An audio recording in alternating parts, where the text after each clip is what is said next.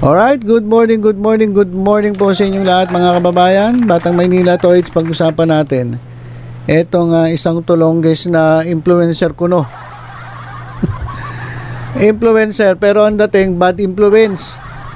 Kasi tinuturuan pa itong ating mga kababayan uh, at uh, itong kanyang mga followers. Siguro mga taga-followers nito, mga kabataan din. Kasi mukhang bata pa ito eh. Bata pa lang, tulongges na.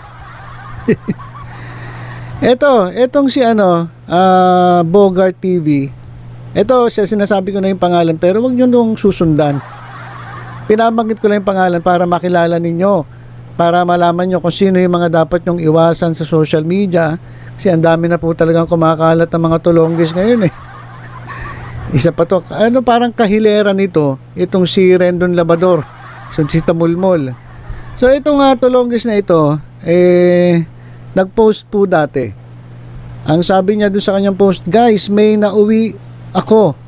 Kayo ba, ano ang pinakamalupit ninyong nauwi? Kasi mga kababayan, di ba, minsan pag kumakain tayo sa mga restaurant, meron tayong mga nauuwing mga souvenir. Uh, minsan, nauwi natin yung mga, yung mga binibigay nila. Kunyari, halimbawa, nasa Starbucks tayo. Di ba, minsan may binibigay sila na mga, mga asukal, uh, sugar o coffee o cream. Sa mga coffee shops, so yun, meron kayong makukuha ganon. O sa mga hotel. So nakakapag-uwi kayo nun. So meron kayong mga souvenir na nadadala pa uwi. Uh, minsan nga ano eh, uh, yung mga kutsara. Di ba minsan nag-uwi ng mga kutsara, nilalagay sa bag. Tapos yung iba, mga baso. Kaya naman na ito natuwa itong tulongges na to at uh, meron daw siyang nauwi at uh, ngayon, tinanong niya yung kanyang mga followers, kayo ba anong pinakamalupit na nauwi ninyo o galing sa mga iba't ibang lugar na napuntahan ninyo? Doon sa pinost niya, ang pinost niya ay ano, mga buzzer. Uh, ito po yung mga uh, kapag umorder ka sa counter, ngayon ibibigay sa yung yung buzzer na may ilaw. Ayan po yung nasa picture. Yan po, para pag kapag yan po ay nag-vibrate at umilaw, ibig sabihin yan, pupunta ka na doon sa claim kung saan mo i-claim yung pagkain in order mo. So, ito yung pinagmalaki niya nga naiuwi niya sa kanila. Eh ngayon, ang nangyari, doon sa kanyang post, ayan, may kita naman natin sa screen, meron po nag-comment doon sa kanyang uh, pinost at ang sabi, Sir, sa store po namin yan. Charge po yan sa crew namin. 500 po yan. Oh. Yung palang naiuwi niya na baser, ito na po, yung sa Jollibee. Eh, ano pala yan? Uh, kapag nawala, eh, charge po yan sa crew. 500 pesos po ang isa. So, every time na mawawalan sila niyan, katulad nito may tulongges na, na nag-uwi nito, kinuha, inuwi, eh, automatic limandaan po yung kaltas dun sa crew. At ang matindi na ito, paghahati-hatian nilang lahat. Eh, sa Jollibee, magkano lang naman ang sahod dyan? Halos yung iba dyan, mga working student pa, nagtatrabaho para meron lang maidagdag sa kanilang tuition o pang pamasahe, pang allowance. Diba? Karamihan dyan yung mga working student. Tapos biglang makakaltasan pa dahil dito sa mga tulongis na katulad na ito na mag-uwi ng ganon nung buzzer. Kawawa tuloy itong ating mga ano, ating mga kababayan, lalong-lalo na yung mga working student natin na gustong mag-aral ng maayos, nagsisikap, tapos eh mababawasan pa yung kanilang kita dahil dito sa mga ganitong klasing tao katulad nito ni Bogart TV. Oh, sabi nga sabi nung nagpost oh, naawa din po kami sa kakrew namin kaya maghahati-hati kami para po mabayaran at mapalitan. Tingnan mo ginawa na itong uh, na Bogart TV na ito. Ang dami tuloy na apektuhan dahil dun sa kanyang ano, makapag-content lang tong tulonggis na to. Pakagawa lang ng content, tapos yung kanyang uh, katarantaduhan, eh pinagmalaki pa. Feeling niya, ang galing-galing niya. Tawan-tuwa siya sa katulonggisan na ginawa niya.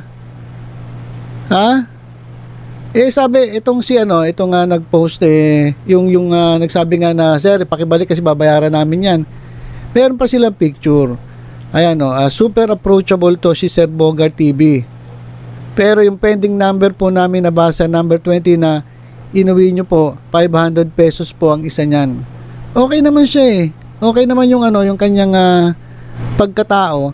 Kasi, yan, may picture pa sila. Ibig sabihin, approachable siya. Pero, yung kanyang pagkademonyo, ay na malupit. Ah, yung pagkatao niya okay lang kasi influencer siya, medyo feeling niya sikat siya at ah, maraming ah, nakakilala sa kanya, yung nagpa-picture pero yung kanyang ah, ah, pagkademonyo ay nang lumabas. Kaya inuwi niya yung buzzer. O kaya naman ako, ah, nag ano, nag ah, post sila at ah, kung pwede raw ay maibalik kasi kawawa po talaga itong mga crew. At pagkatapos naman itong Tolongges na Bogart TV na ito ay ah, nag-post. At ah, ito na, ah, parang ah, pinalalabas niya na nakalimutan lang daw niya. Ah, Tolongges na, sinungaling pa. Sabi niya, nakalimutan lang daw niya. Ito sabi niya, wag iyakin guys, nalimutan lang ni Bogart TV. Ha ha ha ha ha. Babalik naman, sa taxi na po namin nakita. Sa branch po yan ng Jollibee ng 168 Mall. Sa mga crew ng ah, 168 Mall sa DV, pakicontact na lang po ako. Ikaw pa ako kontakin, tulongges ka, ba't hindi ka na lang bumalik at isoli mo yan? Ba't kailangan kontakin ka pa? Wala talaga si Bogart TV na to eh. Ay, ito sabi ng kababayan tuloy natin, Bogart sa ugali na lang sana babawi, di mo pa nagawa. Parang ibig sabihin, wala na nga sa itsura eh. Doon ka na nga lang sa ugali mo babawi. Ayun na nga lang ang pwede maging maganda. Hindi mo pa nagawa. Ah, so, ayan, marami, marami nagagalit. Kapal mo, ikaw pa kukontakin. o, di ba?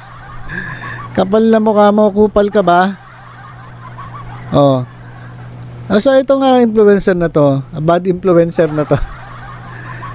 Ayan mga kababayan, ay talaga naman tinuligsa ng ating mga kababayan dito sa pinaggagawa niyang ah, kalokohan. At ito, ito yung latest na ah, nangyari ay meron po siyang inilabas na litrato na naibalik niya na yung buzzer. Ayan dito sa Jollibee, dyan po sa 168 sa May Divisoria. Pero wala na. Ang ah, pagkakalam ko ay naka-hide na po yung kanyang channel. Di natin alam kung na mass report o pwede naman tinago niya muna kasi natatakot siya na baka matulad kay Rendon Labador yung kanyang Facebook page. So pwede niyang itinago muna kasi na mass report na eh. So hindi ko lang alam kung pwede yon Kapag hinide mo, tas na mass report, eh, kaya pa rin tanggalin ni Facebook yan.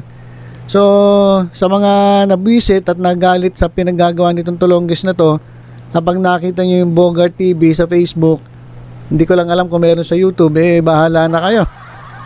Hindi kailangan natin ng ah, mga ganitong klaseng influencer dito sa social media na imbis kabutihan ng pinaggagawa, eh katarantaduhan po.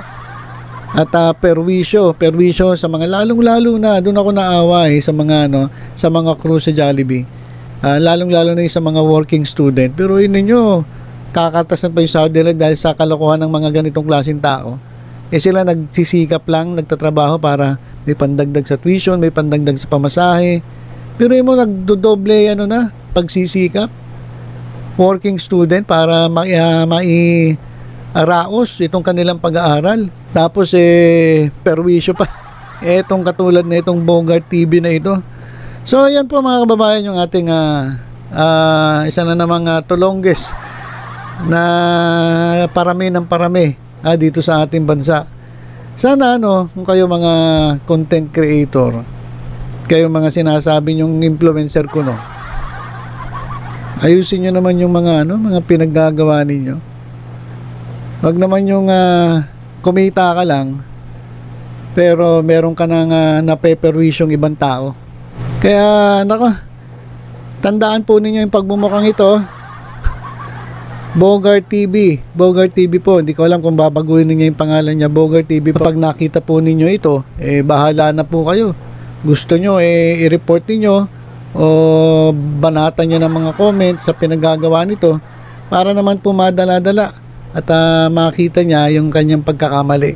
Kasi feeling ko, mukhang uh, tuwan-tuwa pa siya sa ginawa niya eh. At uh, napakasinungaling nitong tao. Pinagmalaki niya niya, nauwi niya, tapos sabi niya, nadala niya raw, hindi niya raw sinasadya. Ay, nako Bogart TV. So, yun lang po mga kababayan. Ingat po tayo sa mga gantong klaseng tao. pagdasal na lang po natin na sana eh, maglaho na sa mundo yung mga ganitong klaseng tao na nako na imbis na makatulong eh perwisyo pa sa kapwa